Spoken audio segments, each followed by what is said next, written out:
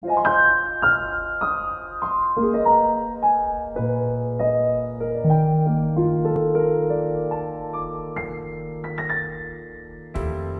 ในหลวงรัชกาลที่ 9 ถือเป็นพระมหากษัตริย์ที่ทรงครองราชนานที่สุดในโลก ทว่าในพระราชพิธี ฉลองสิริราชสมบัติครบ 70 ปีนั้น ตรงกับช่วงเวลาที่พระองค์ทรงมีพระอาการประชวร จึงไม่ได้เสด็จออกมหาสมาคมเหมือนในพระราชพิธีครั้งอื่น ๆ ที่ผ่านมาแต่ก็มีการจัดพระราชพิธี และศาสนาพิธีอย่างสมพระเกียรติ พร้อมกันนี้ประชาชนคนไทยทั่วโลกต่างพร้อมใจกันสวมใส่เสื้อสีเหลือง เพื่อแสดงความจงรักภักดี และร่วมการเจริญจิตตภาวนา ถวายพระราชกุศล ถวายพระพรแด่พระองค์ท่าน ทรงเป็นพระมหากษัตริย์ที่ได้รับความรักจากบวงประชามากที่สุดในโลกพระองค์หนึ่ง ที่ต้องจารึกไว้ในหทัยสยาม